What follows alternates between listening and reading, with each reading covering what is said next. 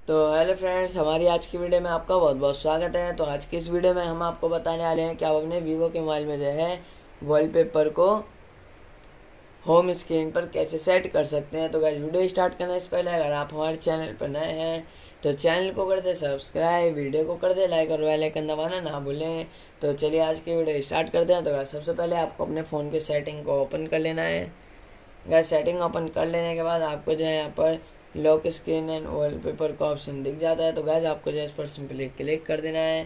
Guys उसके बाद आपको यहाँ से वॉलपेपर पर सिंपली क्लिक कर देना है। गैस उसके बाद आप यहाँ से कोई भी एक वॉलपेपर सिलेक्ट कर लें। गैस उसके बाद आपको यहाँ से अप्लाई पर सिंपली क्लिक कर देना है।